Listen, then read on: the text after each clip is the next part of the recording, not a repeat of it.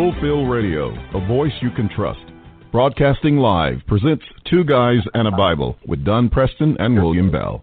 Join us each week at 7 p.m. Eastern, 6 p.m. Central as we bring you exciting, sound, challenging, and comforting messages regarding the end times.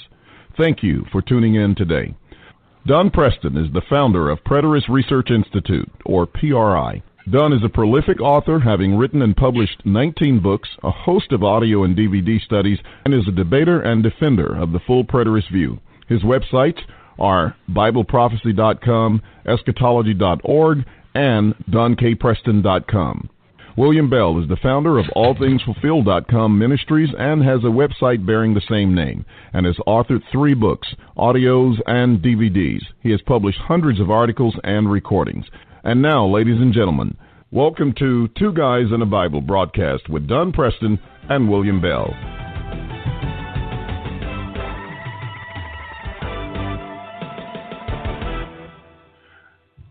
Good evening, ladies and gentlemen. Welcome to Two Guys in the Bible right here on Fulfill Radio, a voice you can trust. I am William Bell and am delighted to be with you today. But along with me is our illustrious and erudite co host, Dr. Don Preston.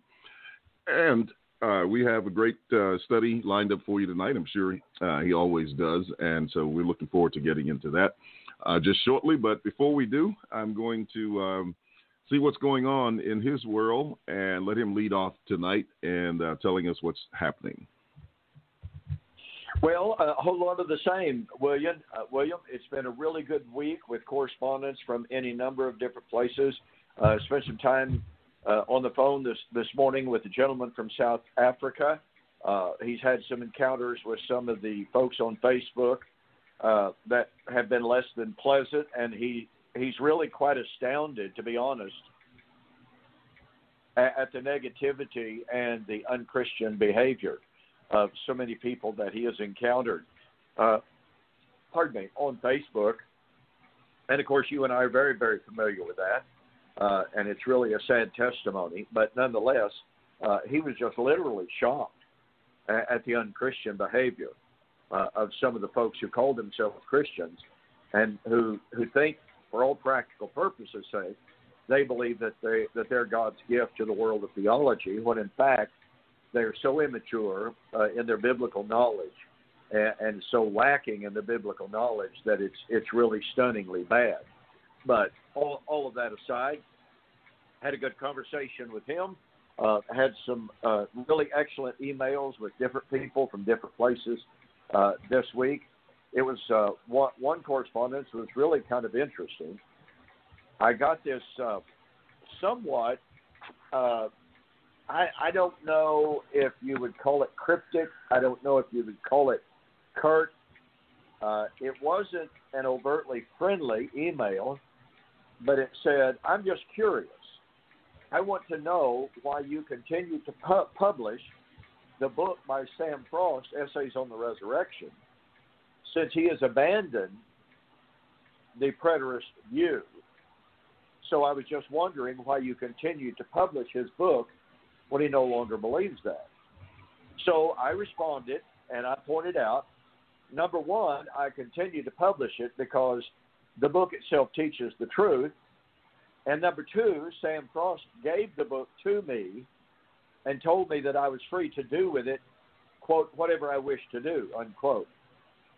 And then, interestingly enough, he responded to me in a rather lengthy email thanking me for my ministry and saying that it was literally beyond his ability to comprehend how anyone once adopted covenant eschatology would then turn away from it because uh, the evidence is just too overwhelming. The logic is there. Uh, the, the, the testimony of the scripture is just too plain. And anyway, he went on to express appreciation for your ministry and mine, and, and to simply say that it has been a complete paradigm shift for him.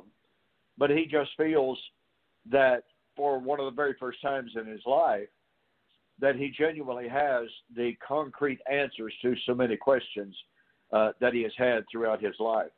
so it was a very, very interesting. You know, the very first email kind of put me on a little bit of a defensive, thinking, "Oh boy, here we go. Uh, I'm going to be attacked from, you know, uh, upside down and what have you." And then it turned out to be, well, great. That's a great answer. I appreciate that. And boy, you and William are both doing such a great job. So uh, it was an interesting phone call. Had some other uh, messages uh, similar to that in vein, uh, just expressing their appreciation for our ministries, our our joint work together, uh, and and how we are together able to communicate so well, uh, and, and, to exercise proper hermeneutic. So it, it's just been one of those weeks where uh, continuing correspondence with people from a little bit of everywhere. Uh, it continues to grow.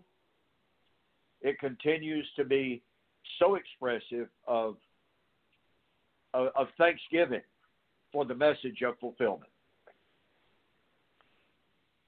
Now, William, I think we need to get, I think we need to get your impression, William, of how you think the message went, uh, you know, just the other night because uh, I've certainly got my own impressions of that. I'll be more than happy uh, to to share those. But I'd like uh, like for you to tell us what you thought of your debate with William Vincent. Okay. Well, um, first of all, uh, it was interesting. Uh, it was short. That's the first impression I got of. and and I have to um, I have to acknowledge. Don said that's not going to be enough time, and I knew that it wasn't going to be uh, quite enough time, but I thought I could get something done within that period of time. I didn't think it was going to take all that much to dispel his arguments. But um, man, I did feel the crunch. But what was really, uh, and let me just say this, and I'm not making any excuses. I'm not trying to take back anything in terms of my performance in the debate, but there was a condition that was created in that uh, discussion that I had to labor with at the very end of it, and that um, uh, and that was um, we were to exchange questions in the debate. And I submitted my questions to, um, well, w- William Vincent gave me his questions first. I took two days and I responded to them. And that was only because I was busy and had other things that I had to do. And I, you know, but I did get them back to him within two days uh, so that he could have them to go over them. And you you know that because you know that I questioned you about, you know, how quickly uh, we should exchange the questions. You said right away, and I said, okay, well, I'll get right on it. And um, and so when I sent him my questions, um, somewhere around Sunday, I think, or Saturday, Saturday or Sunday, uh, he said he would get them to me. I think that evening or whatever. Well, that evening turned out to be 9:46 p.m. Saturday night, almost a week later, which was uh, and, and and by the time I got them, you know, I had been working a little bit on the debate, you know, and and uh, other things, and so I was tired. And my intentions were to go to bed that night early so that I would be refreshed, you know, mentally and physically the next morning. Well, uh, getting his questions at that point in time, I had to go through them to find out what he said because I had intended to use some of the um, responses he had to the questions in the discussion. However, you know, and I and I was about one o'clock that morning finishing up responses to the questions because I also wanted to send them to you just to have you double check them, look them over, see if you saw anything. You know, as we usually do when we when you're preparing for a debate, we always exchange, you know, uh, and and ask each other, you know, what do you think about this, etc. So, correct. Um, immediately after I finished, I sent him to you. But by that time, I was exhausted, and because uh, I had labored hard that day, and um, I was really exhausted, and I had intended to get to bed early, um, and I couldn't because of that. But I didn't want to go into the discussion not at least looking at what his responses were and uh, and responding to them. And I tell you, there were some doozies on that list, as you know. But I didn't get a chance to, to use any of them because I was so weary um, you know, in terms of, of, just mentally exhausted from from the labor that day that I um, it just wouldn't stick in my mind in terms of you know the things that were on those questions. And so I let that go. And so by the time we got to the discussion, I mean, I was fine. But at the very end, and I'm sure if you listened at the very end, I mean, my mind was just going out of it. It was just just kind of burnt to the crisp as far as that. And I know that was because I was up late that night, you know, dealing with that. But that's not an excuse for my performance in the debate at all. Um, I uh, it was just a condition that happened. Uh, William Vincent apologized for taking so late to get him to me, but I just thought that that you know, um, and I had to remind him at least once or twice to send me those questions, and um, and and I didn't get them until almost 10 p.m. that night. So anyway, that part well, aside. Let, let, let me uh, interject here for everyone's uh, everyone's consideration. I told William Bell uh, that given the short time frame, that I would not be surprised whatsoever that William Vincent either would not get his answers to William's questions to him at all, but then on air would express pro- a profound apology uh, for not doing so, uh, or that he would get to his answers to William so late that it would be almost, almost uh, too late for you to go over them and to consider them. And William asked me, he said, Do you really think that he would do that? I said, Well, unfortunately, I've been in this debate game an awful long time. I have seen about every trick that you can imagine. I hate to ascribe debate trickery to William Vincent. You would certainly hope that he would not do such a thing. And yet, my prediction that he would wait until the very last moment before sending William his answers. And remember, William contacted him twice. I have the emails. William contacted him twice, reminding him that he was waiting on the answers. And William would write back and say, Oh, I'm awfully sorry. I just slipped my mind. I've been preoccupied, blah, blah, blah. Well, you know what? Common courtesy says that you ought to fulfill your obligation.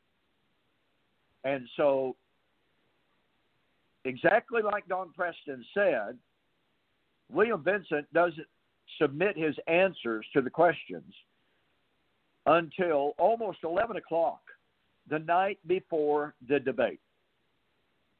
That is just simply not fair. It's not acceptable. Press his apology to William, exactly like I said he would do.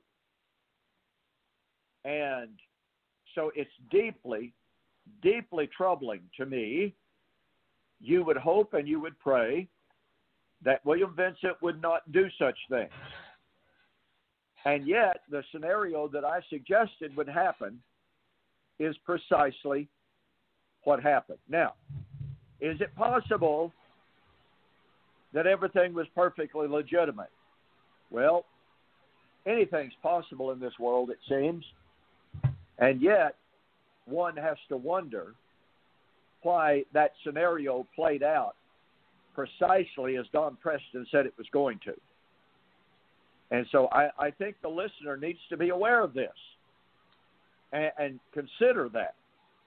Why is it that a man would wait until the 11th hour, as it were, after being requested twice and after apologizing twice for not getting them submitted expeditiously, and then finally just delay until the 11th hour? Why would a man do that?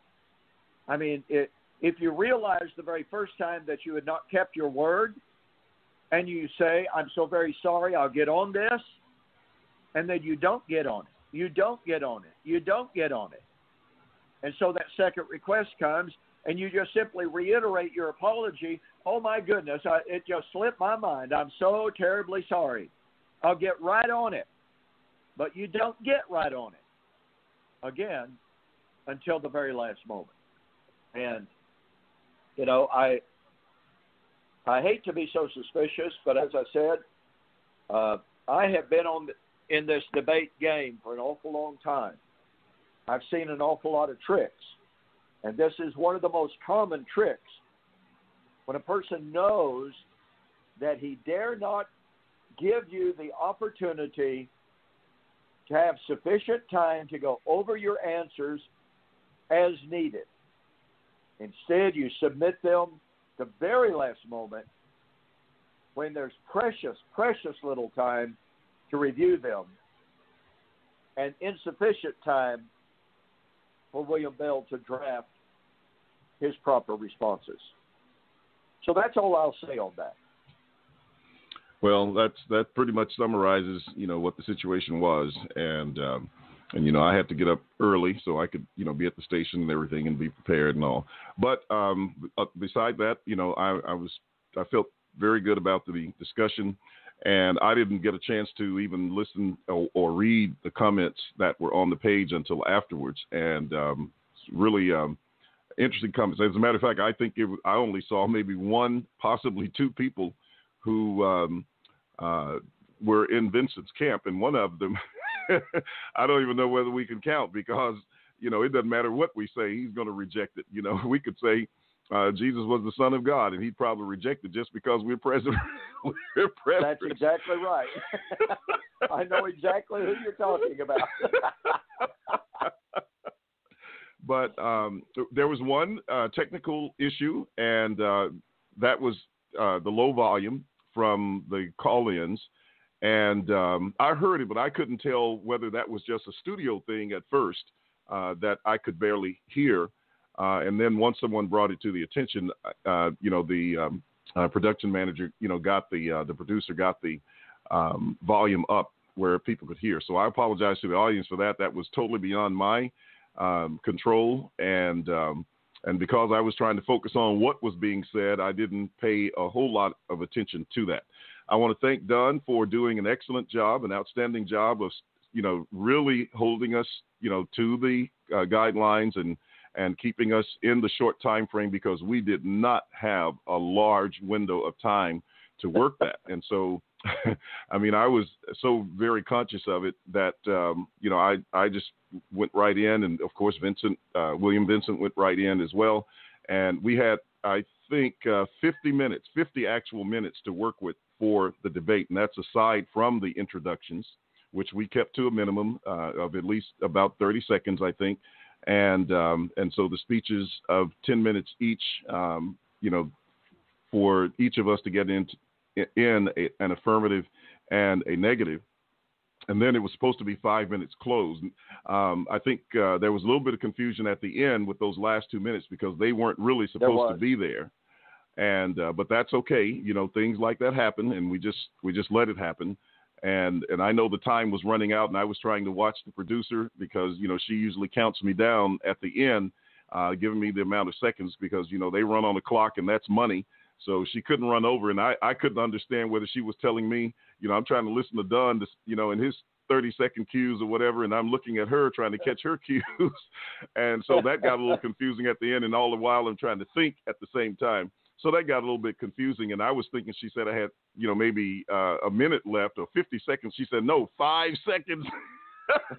so so I just cut it off real quick and, and you know and got out of there because you know I know they're held responsible for that time and they really have to stay on time.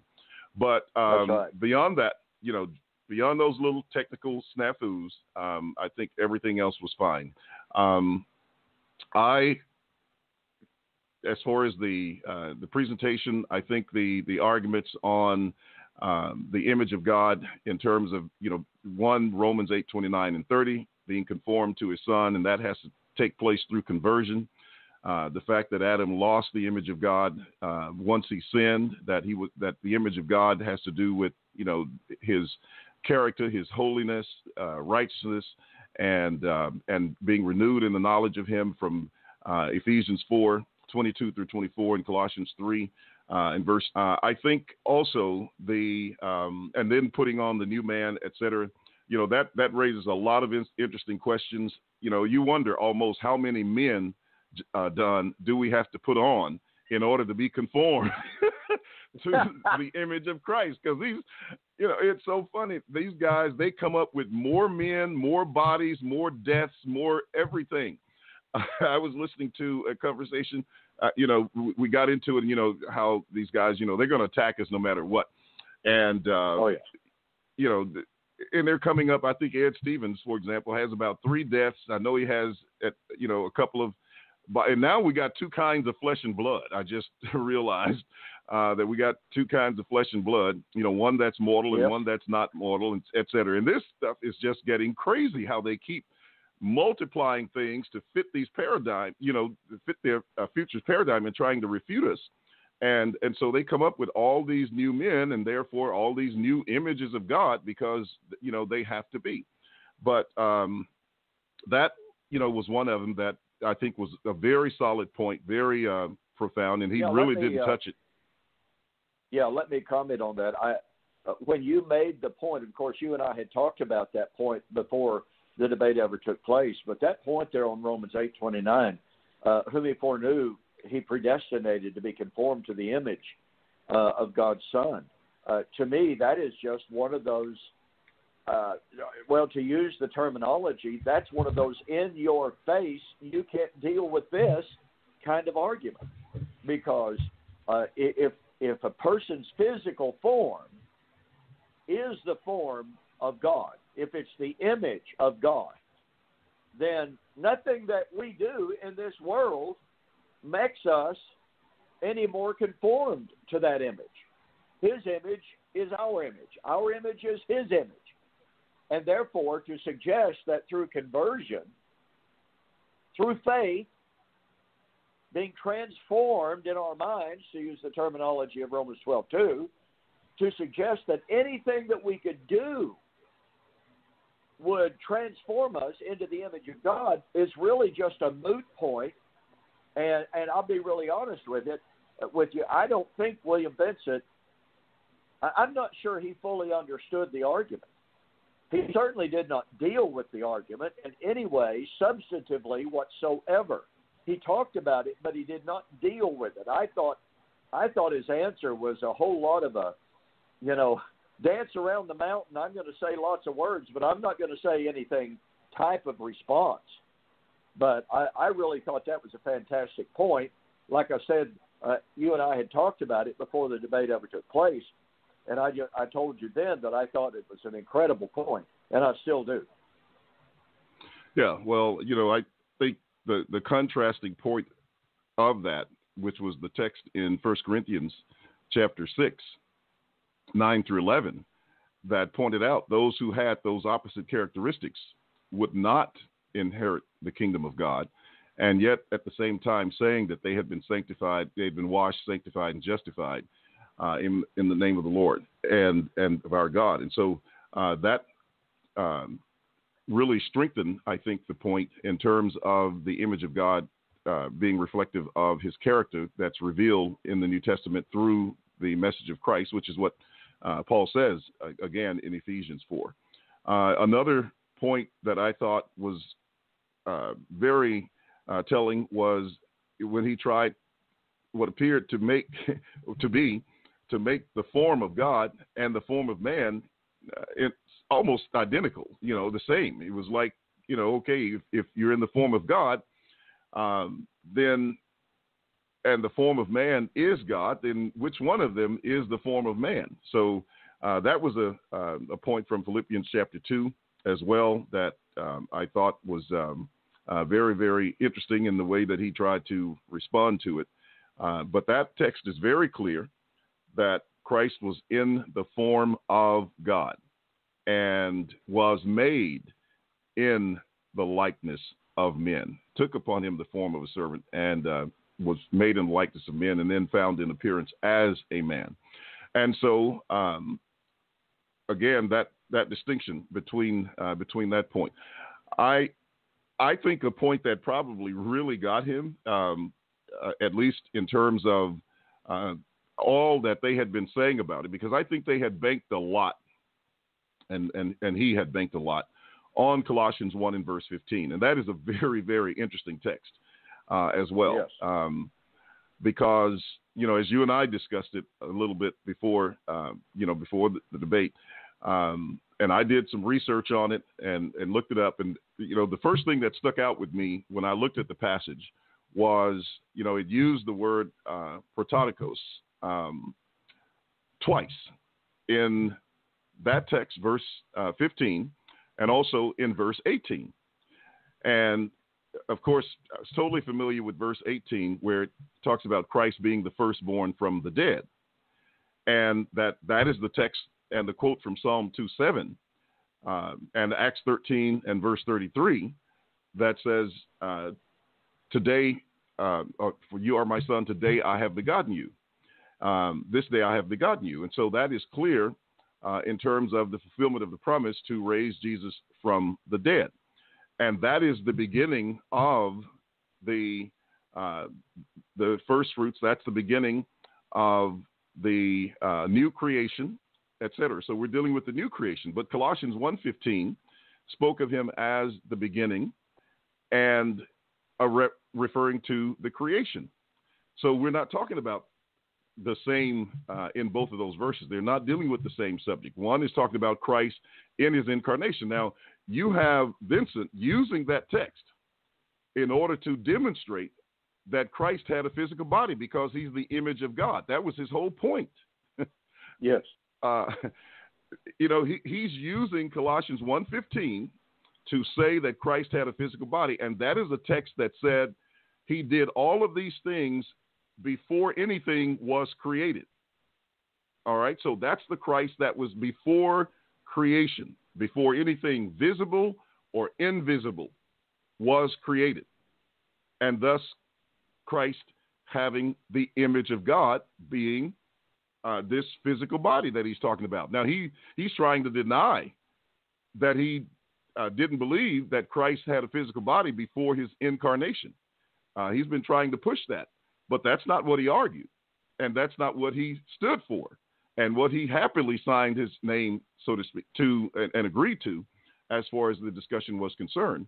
But you know, once I showed that that referred to Christ as the wisdom of God uh, which was also backed by the text in Proverbs 8, because you know wisdom was there from the beginning, and you got text in Job, which I didn't necessarily bring out at the time due to the time, but Job 33 and I think uh, verse 4, verse 8, or somewhere in there, uh, you've got those passages where uh, God is questioning Job about what what he knew about the creation, etc., and demonstrating uh, wisdom from that point of view. And then you have the text very clearly in Colossians chapter 1 and verse 30 that says that Christ has been made to us wisdom, righteousness, uh, sanctification, and redemption. So the harmony of the text is very, very clear.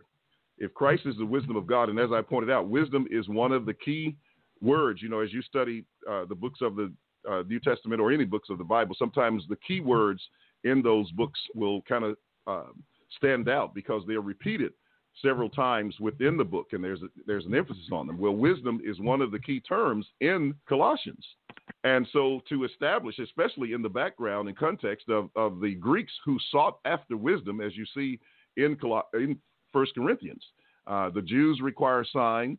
The Greeks seek after wisdom. And so, what was God's answer to the Greeks seeking wisdom? Uh, to the Jews, it was Christ crucified, just as Jesus told them in Matthew chapter 12. But to the Greeks, it was Christ, the wisdom of God. And so you had that same idea. And of course, you had the, the um, false wisdom of the Jews as well. But the point was, he's presenting Christ as the wisdom of God. And for the Jew, any Jew would have known the, the, uh, the concept of wisdom before creation from passages like Proverbs, etc. And even in the apocryphal writings from Sirach and uh, Baruch, I guess. Uh, each of those have references to it. I didn't get a chance to bring those out either, but they have, and, and you can read them and see very clearly that that is the emphasis that they're making on uh, the text and the language there. And so when you look at the scholars, they're they're saying this is that hymn from Proverbs chapter eight, and Christ is being put in that position. And so that's what uh, what the text was referring to um, in showing that Christ as God's wisdom uh, was the one before whom all things were created. So I think it's a powerful, powerful text from that perspective uh, in um, uh, harmonizing the two firstborn uh, ideas that are found in Colossians 1:15 and Colossians 1 and verse 18. And I don't think, uh, as I said, you know, that um, I don't think he had any clue on what to do with that as far as an argument was concerned. Did you want to say anything here at this point? Well, no, I think you're exactly right because he did not give any kind of a substantive. He really didn't give an answer at all uh, to your development of Proverbs chapter eight. He did not give any answer at all to your comments on Proverbs, excuse me, Colossians one fifteen to eighteen, uh, and that this is discussing Christ's creative work before his incarnation. And, and for him to argue that Colossians 1 is dealing with Christ in a physical body, and yet it's Christ being the creator of all things, both visible and invisible, that takes us back to John chapter 1. In the beginning was the Word, was the Word was with God, the Word was God. By him all things were created, and without him nothing that was created was made. Well, again, that's the pre incarnate Christ. It's not Christ incarnated when he took on him the form of man and dwelling among men in the body of flesh. And so Vincent's argument was completely anachronistic. And pardon me, pardon me, it not only ignores the framework and the context and the temporal to use the word temporal here, the temporal setting for Colossians 1 15 to 18, and that is prior to the creation, verse 15 and 16 particularly. But, I, I mean, it completely ignores that whole body uh, of scriptural evidence that ties in what Paul is talking about in wisdom, going back to Proverbs chapter 8. I'm not sure, and, you know, William Vincent is a pretty well read guy. But I would say, I would venture to say, I could certainly be wrong, but I would venture to say that based upon his response or lack thereof, he had never heard that those concepts, certainly not developed in any substantive way. Uh, I think he was at a total loss how to answer the tie-in between Proverbs 8, wisdom, and Colossians chapter 1. Well, yeah, I, I agree with that because I, I, didn't hear any um, any res- response. Now, uh, another uh, argument that was made was um, the idea that they've pushed several times, and that is you cannot have an invisible image of an invisible God, so to speak. In other words, if, if it's form, the yeah, their argument was you cannot have a form of that which is invisible.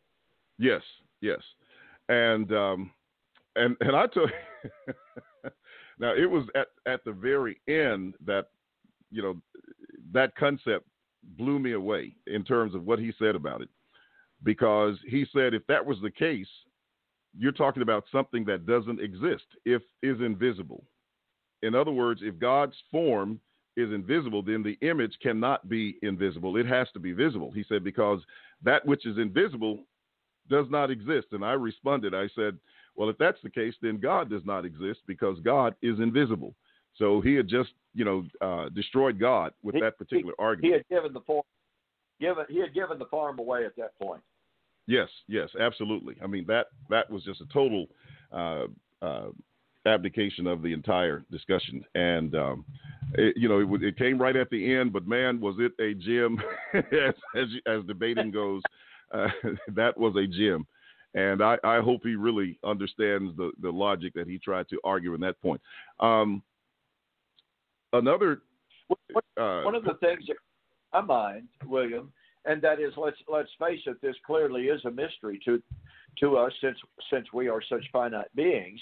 But it is difficult for us since we we do not think in such in, incredibly metaphysical, spiritual, uh, you know, abstract, ethereal, whatever word you'd like to use, it is difficult to wrap our minds around the fact that the scripture says that Christ was in the form of God. Greek word morphe.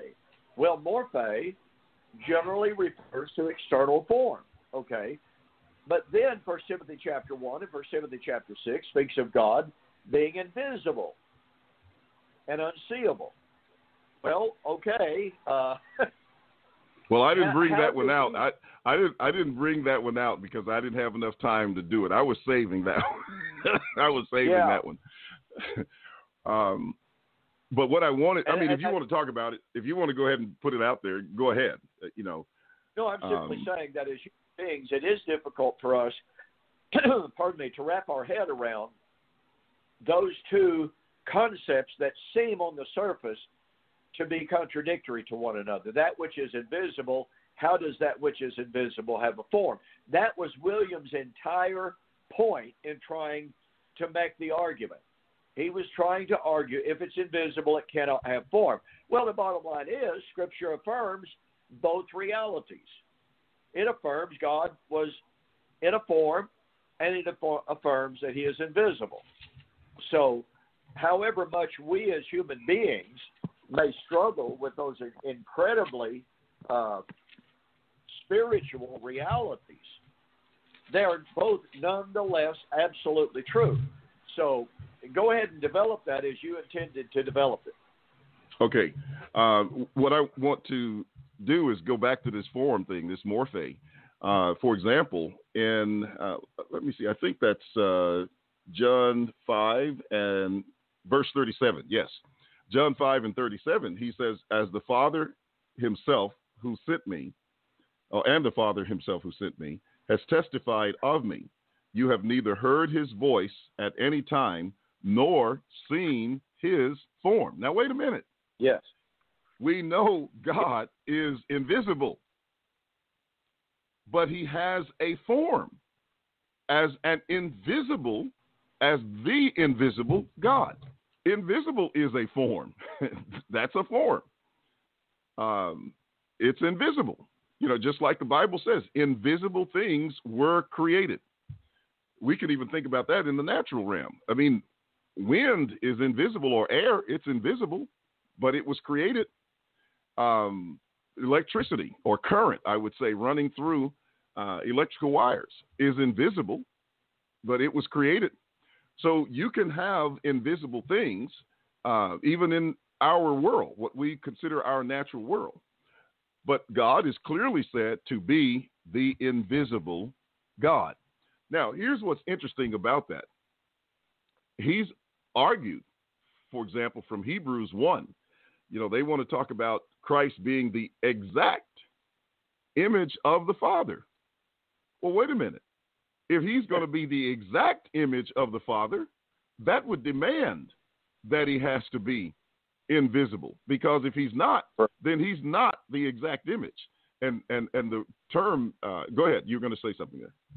No, no, no. That's fine. I was just laughing at the at, at the power of the point, uh, how simple it is, and yet how devastating it is uh, to William's entire position. Yeah, yeah, and and uh, so that would destroy the concept of um, of claiming that it had to be physical. Here's another one that um, that that got me uh, in terms of what he's trying to argue. Now he created that video, and I alluded to it in the debate, and he did too, uh, on Hebrews. And he really felt like he had a strong point on that particular argument. And I thought when I read that, I said, oh, wow. I mean, when I listened to it. Um, and that is from Hebrews chapter 10. All right, Hebrews chapter 10 and verse 1 says, For the law having a shadow of the good things about to come. Uh, could never with uh, those same sacrifices make the, uh, those who approach perfect. Well, one of the things apparently, I, and I don't know whether he, he grasped this or not, the verse right before that, Don, as you well know, is the verse about the return of Christ. You know, unto those who look for him shall he appear a second time apart from sin for salvation. Well, what that means, and that whole chapter, Hebrews 9, and actually the whole book for that matter, but particularly chapter 9, which focuses on the work of the high priest uh, going, you know, into the most holy place, you know, the, the second part of the tabernacle, which is the Holy of Holies, which is the true image. The, it was the true from which all the material and physical realities that, uh, as God told Moses in Exodus 25, see that you make all things according to the pattern shown you in the mount. And so when Hebrews 9 speaks about that, in both verse 11 and verse 23 uh, and 24, he says Christ came as high priest of the good things to come, literally that the good things that were about to come or the coming good things, with the greater and more perfect tabernacle, not made with hands. Now, ladies and gentlemen, I've said this many, many times, even uh, in writings. The first place that we see the phrase not made with hands is in Daniel chapter 2. In the dream of Nebuchadnezzar and in the interpretation of the dream, I think it's around verses 34, 35, and also 44 and 45. And it refers to the kingdom of God, the stone cut out of the mountain without hands. And as Stephen said, the Most High does not dwell in temples made with men's hands. So this is, and, and as the scripture teaches us in Luke 17 and verse 20, these are points I brought out as well. The kingdom of God does not come with observation. And of course, one of the questions that I ask him, and even some people in the audience, which I didn't read their comments until late that evening or even the next day, uh, they asked, you know, okay, we've got this invisible kingdom, and Christ coming in his kingdom, you know, what kind of throne is he sitting on, etc., you know, all of those kinds of questions, um, which people might think are trivial, but I think they're absolutely valid uh, questions to ask regarding that.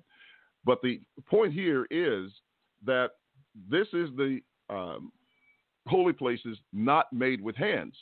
And in verses 23, it says, Therefore, it was necessary that the copies of the things in the heavens should be purified with these. Now, that means that the, the shadows and types were the copies of the real things. He says, But the heavenly things themselves would better sacrifices than these. And he alludes right back to that house not made with hands. For Christ is not entered into the holy places made with hands, which are copies of the true, but into heaven itself now to appear in the presence of God for us. So it's the invisible things that were the true things from which uh, these were the templates, if you please, these spiritual templates from which the physical outward things were made or created. And it's like the text in Hebrews 11 you know, on that point about you can't have uh, a uh, invisible form to reflect an in, uh, invisible form. Well, Hebrews 11:3 says, "By faith we understand that the ages were framed by the word of God, so that things which are seen were not made by things which are visible." Now, I'm sure you can go in a couple of directions with that. You can talk about the things that had not yet been realized that were coming into being, which again, that's focusing on the fulfillment of the types and shadows. And they're still unseen from that perspective. And even in seeing them, as Paul said in Ephesians 1 in verse 18, you would only be seeing them with the eyes of your understanding. So that's mental perception and, and by reason, etc., and not by seeing some some physical uh, some physical uh, image. And um, and so, from that perspective, uh, those things are the true things, the templates from which the physical things were made. Even when you talk about a person uh, doing a, if you got a draftsman, okay, who is going to do a blueprint, the ideas that he puts on that page come from his thoughts and his reason and the pictures that he, you know, the images that he holds in his mind that you can't see until he transforms them or transfers them into you know what we would call reality. They're real actually when they're in his mind unseen but he puts them down on paper so that people can see that and and and creates this uh, schematic drawing if you please. And then from that you know you'd give it to a contract and he takes the actual materials and puts it into a finished product. So the uh, the real vision of that was in the invisible realm uh, within the thoughts of his mind. You know, if you cut his head open, you couldn't find them. uh, because you, you're not going to find them that way, thinking that that's that's where they are, because they're they're in the ideas and the concepts. You know, as people have said, and as I've studied, you know, positive uh, uh, uh, development and stuff. Thoughts are things, and as a man thinks in his heart, so is he. Those you know those kind of concepts, and so that's the uh, that's the idea. But here's the point that he was making. Here's one point that he makes from that. He's using the types and shadows of Hebrews 10 to say that those were the shadows, but the physical body of Christ is the substance. Now, Don. How can the physical body of Christ be the substance of the shadows and types when Christ's physical body, up to the point of his death, was fulfilling the types and shadows? It just doesn't make sense at all.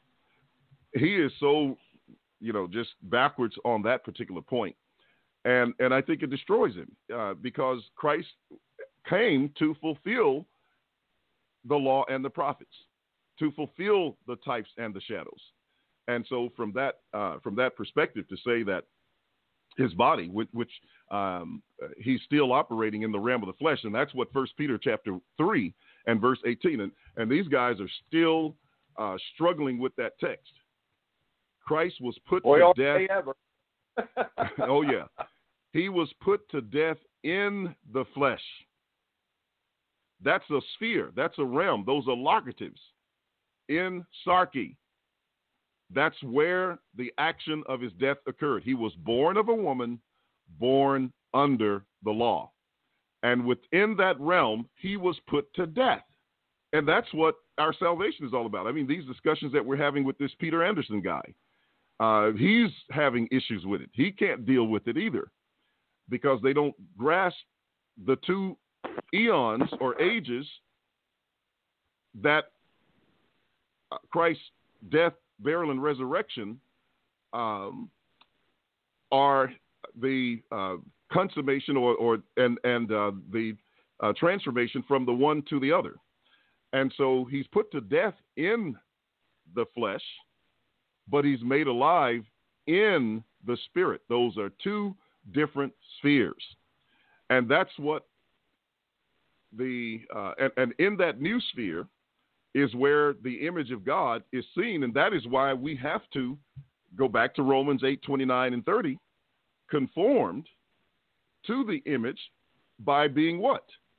By being called by the gospel, by being sanctified through the gospel, being justified through the gospel and being glorified, which is entering into the kingdom of God. So there you have um, the idea of the fulfillment of those types and shadows uh, in terms of moving into this this new realm where they are fulfilled. They're fulfilled in the realm of the spirit. It was it, Christ could not fulfill the glories of the kingdom of God. He could not fulfill his mission and role as the priest after the order of Melchizedek in the realm of the flesh, in the old covenant tabernacle. That's why the text says in Hebrews 8 that he is a minister of the sanctuary and of the true tabernacle, which the Lord pitched, meaning without hands. That's the idea. That's a, a, a very critical point, and he, he claims he's going to unpack that for us in the next discussion, if there's going to be one, I sent him a message over today, as you know, that if he wants yes. to extend the discussion, hmm. uh, that we can do it via video, or we can um, and then uh, upload the audio, strip the audios, upload them here to Fulfill Radio. If he wants to just do them on Fulfill Radio, that's fine as well. Um, but uh, that's that's another point. And then um, the the the other point that I made was from um, Second Corinthians chapter 3 with the transformation from the ministration of death, from the letter, which again is this, uh, it, you know, uh, the concept of the types and shadows. As a matter of fact, any argument that they make concerning the image of God and concerning eschatology in general is going to be destroyed by this concept of the types and shadows that reveal uh, the true image and the true copies from which the physical and material things were copied. And so uh, you have Paul talking about the ministration of death, and, and in that, you know, he's he's saying that they're moving or transitioning out of glory or from glory to glory. Now, the ministration of condemnation, of course, had glory, but he says that the ministration of righteousness so far exceeds it in glory that it makes the other appear that it had no glory. And what was happening was those who were trying to hang on to that old covenant realm, to that uh, to the law, etc., were as though they were in in Exodus when Moses came down out of the mount and they didn't want to look steadily at his face. Now, just think about that for a moment, Don, and I know you have. But think about that. Moses has a glory on his face that is too bright because he has been in the presence of God. And ladies and gentlemen, this there's so much to be developed here. God usually travels in a dark cloud. And I suppose that, you know, when you when you talk about the manifestation of God and you look at it in the Old Testament, it's a dark cloud. Um, yes. To shield the brightness of his glory when he makes these manifestations, before man. But at any rate, Moses was just reflective of that glory. And Israel could not look on the face of Moses, whose glory was already passing away. So it wasn't even the fullness of that reflective glory that was on the face of Moses. It was already passing away. And yet Israel said, oh no, don't let us see that. You know, put a veil over your face. And the the analogy or the illustration that Paul uses of that is as they are still trying to find God and the glory of God in the old covenant, the veil of Moses still lies on their face. Not literally, but uh, in terms of, of Moses having a veil, but in the reading of the Old Testament, in trying to follow the types and shadows, because they're looking, you know, at at the shadows instead of at the at the tr- reality. And and so from that perspective, he says that veil is there. But then he says, but when they turn to Christ, and Christ, this is another one that that gets me. Sometimes they can't hold more than one thought, and I, I'm not trying to belittle, but some of the guys that we know haven't come up you know, and been around long enough to really grasp these things, and they think they, you know, they just really got it. They they really do and they'll come out with some argument that they feel that's just going to destroy preterism. I mean, bless their hearts.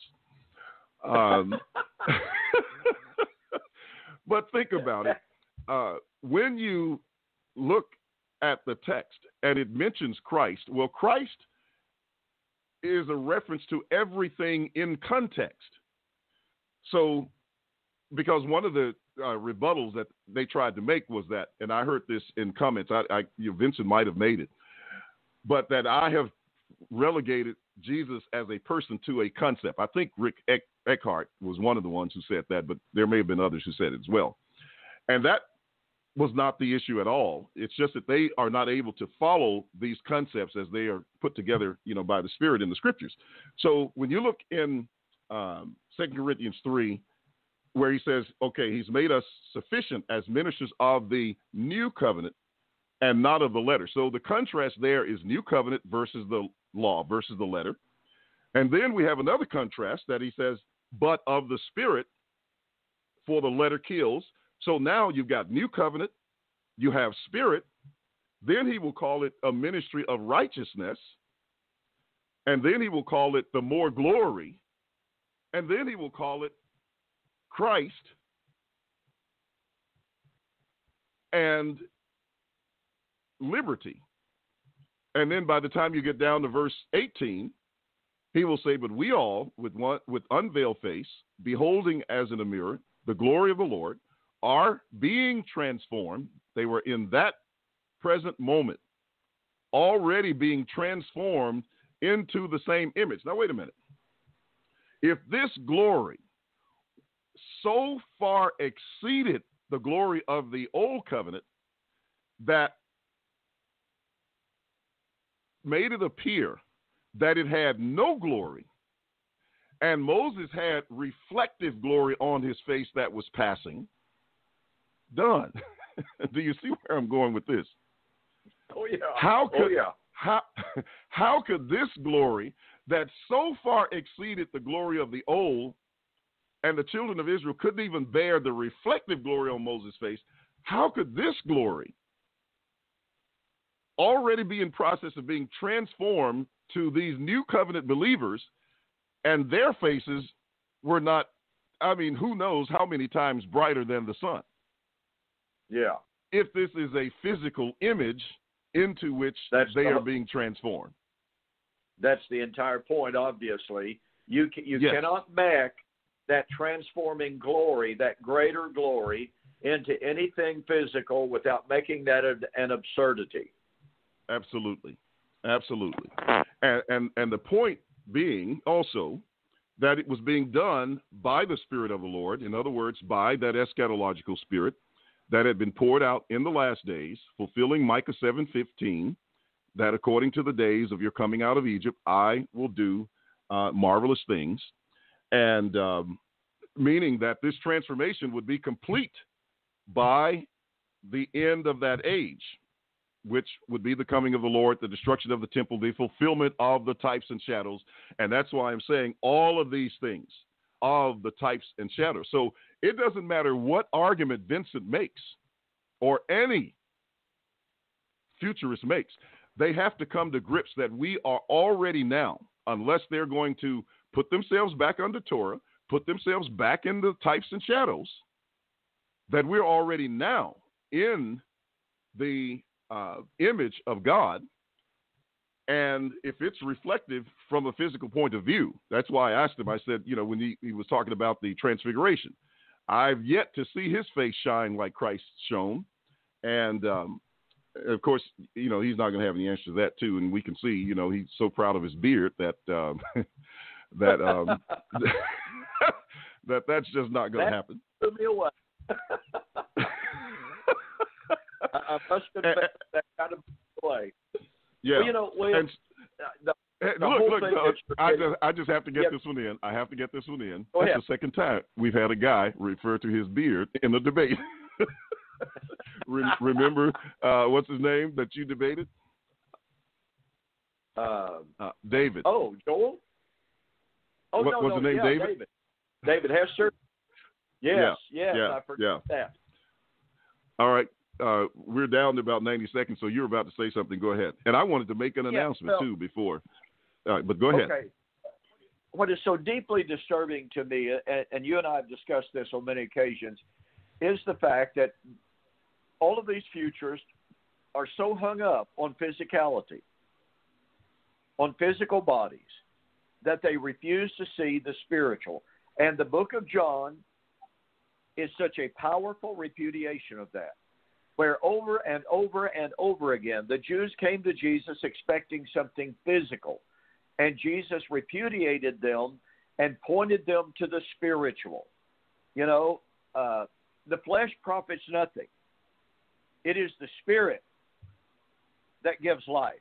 John chapter six, and yet William Vincent, all of these other guys are looking for that which is flesh and blood. And I'll, you go ahead there and make your announcement. Go ahead and close on out for this evening.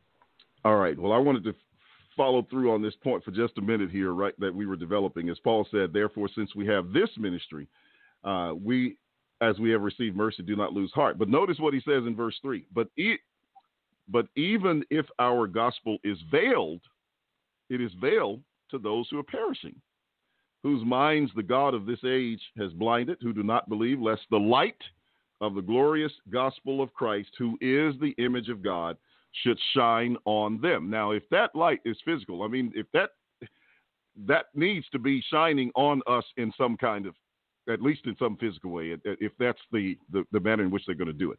All right, but anyway, Yes. uh, let's um, leave it at that for now. There's much more that we could unpack with that, but I hope we get a chance to do another one because I, you know, there's so much more I want to say about it. But um, I wanted to make this announcement, and uh, and I, I, hope you don't get discouraged on, uh, but uh, we have been given, that is, Leora and I have been given the opportunity to go back to Africa. Oh wow! Uh, someone volunteered to send us back, and uh, and I am so eternally grateful. Uh, I had a little bit of unfinished stuff there, and I had talked about, you know, the, the, fact that we were already working with some guys. Well, now we got the chance to go back, and we're going to be leaving the end of this month. Um, so we've already, you know, finally got the tickets. Um, you know, we got the tickets scheduled very quickly because, you know, we wanted to do that uh, because I don't want to be, you know, there during the uh, holidays, but we're going to be there at least for a month this time because we oh, got wow. lots to do. Yeah. And uh, so we're going back to Ghana, and I, I am so grateful for the opportunity. Looking forward to that. Uh, we've got to make preparations to get you know um, videos and recordings made, etc. So I want to thank you. Um, I thank the um, you know those who who made that possible. Um, and um, this, you know, Leora's going with me this time. We're going to stay there for a while, and that girl eats a lot. So, so I'm. You see, I said well, that real low. Go ahead. Here, here's my only question.